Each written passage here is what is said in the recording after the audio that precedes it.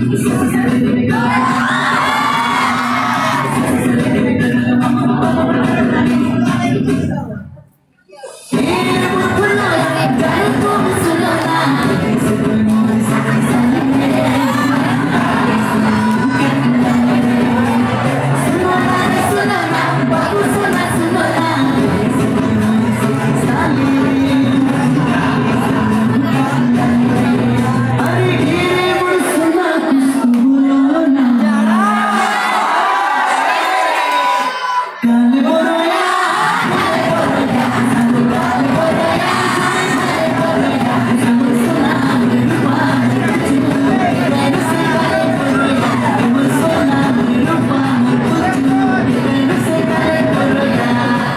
और अभी तो रुको।